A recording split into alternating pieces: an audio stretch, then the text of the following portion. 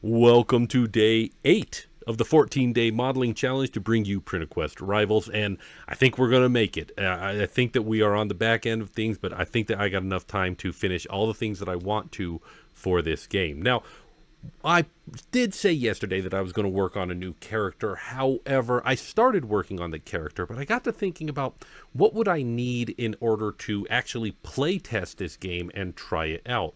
And one thing I thought about is the fact that I wanted the minis to be interchangeable between sides. So you could have these two characters on the same side in one game and then have them on different sides in another game. In fact, this in this game, I would be thrilled to see people making their own minis and putting them in this game and creating their own characters. I think that that is very in tune with the idea of PrintABlok.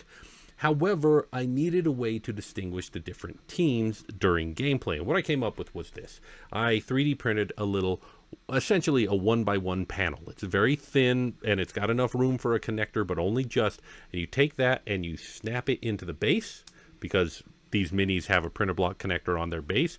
And there we go. Now this guy is red team for this game, and then you can pop it out and change it around.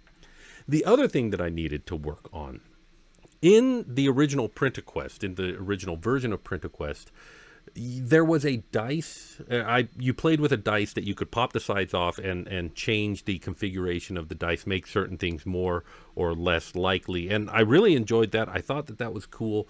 However, in play testing, that ended up not being very popular. So what I'm going to do is I'm going to change it so that you just roll a regular dice now, and you've got this little, uh, essentially a table that has the numbers 1, 2, 3, 4, 5, 6 on it, and then you put on little markers for your team to, you know, essentially claim territory. Now, my initial thought was that this would mean that these, this side has these two, everything you know to the end and this team has this so that if this team gains an advantage they just move the marker up one and now they get all of these.